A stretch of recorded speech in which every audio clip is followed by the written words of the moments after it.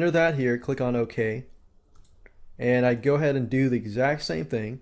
If I click on this in Windows, if I double click it slowly, I can actually rename it. So highlight this, click on a link or control L, whatever you choose to do,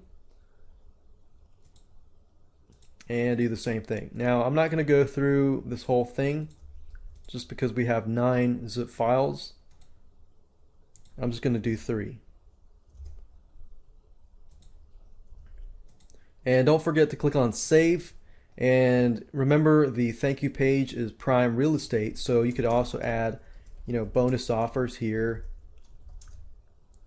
You could add an image and you can change the color of the fonts and this and that.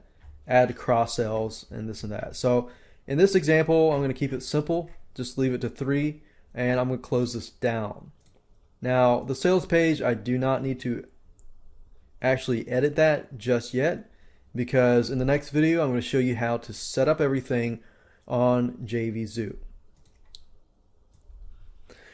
Okay, so that's all you need to do. Number one, make sure your sales page is in the same folder as index.html or index.htm. Make sure that your thank you page is also in the same folder.